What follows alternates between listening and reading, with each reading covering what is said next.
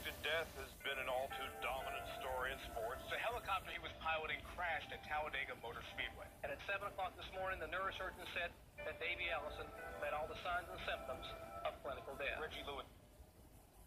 A sad note in sports today. Stock car racer Davey Allison died this morning after the helicopter he was piloting crashed yesterday in the infield of the Talladega Speedway down in Alabama.